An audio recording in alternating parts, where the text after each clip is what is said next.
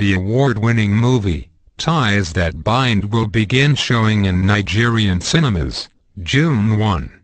The movie was directed by Ghanaian director, Djansi, and it features Kimberly Elise, Omotola Jalade-Ekeinde, Hamake Ababrazi, John Dumelo and Randall Batinkoff. This will be the first opportunity for most Nigerians to watch this remarkable movie. Ties That Bind swept the 2011 edition of the Ghana Movie Awards, carting home nine awards, including Best Actress, Africa Collaboration, Award for Omotola Jalade-Ekeinde.